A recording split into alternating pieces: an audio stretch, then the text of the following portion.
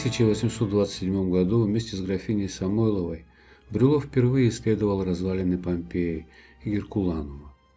Находясь там, художник осознал, что нигде более не сможет найти столь удивительной картины внезапно оборвавшейся жизни.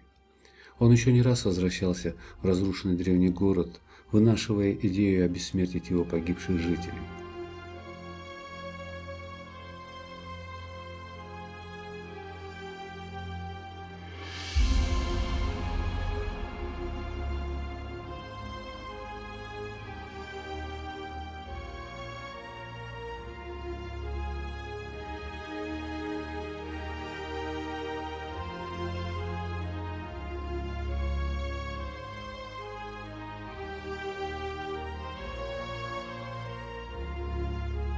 Работа велась не один год. Брюлов долгое время занимался набросками, не решаясь перейти к изображению на холсте. Готовая картина предстала перед взором публики в 1833 году. Полотно получилось поистине монументальным и вызвало шквал хвалебных отзывов как у зрителей, так и у критиков.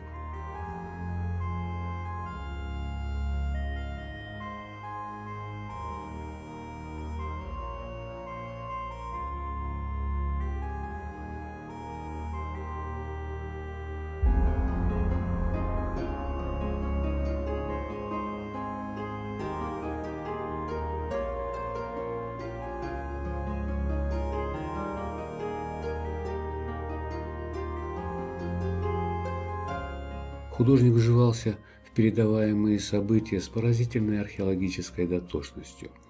Он зарисовывал найденные во время раскопок предметы и останки тел, подолгу изучал экспонаты в археологическом музее Неаполя.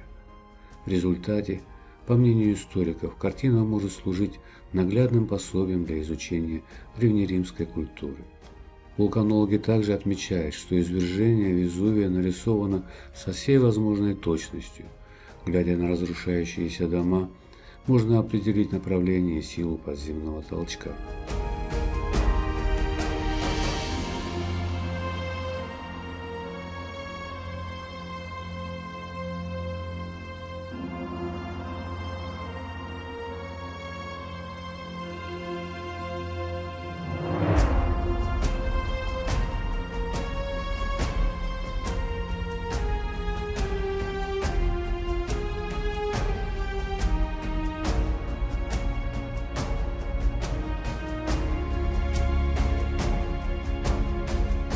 Неравная борьба человечества со стихией передается с помощью резких контрастов теней и зловещего света, исходящего от вулкана.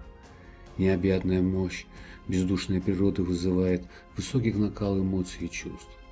Сложнейшая композиция изобилует множеством трогательных и захватывающих историй, и, несмотря на царящий хаос, выглядит абсолютно уравновешенным.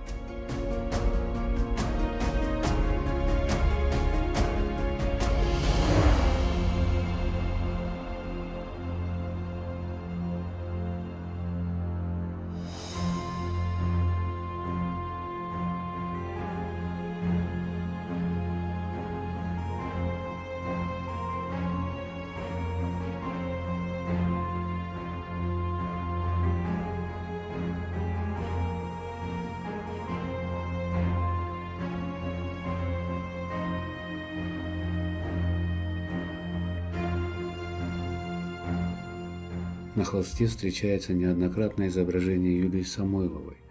Она предстает в образе девушки с сосудом на голове, бездыханной женщины, прижимающей к груди младенца, матери, защищающей двух своих дочерей, знатной красавицы, упавшей с разбитой колесницей.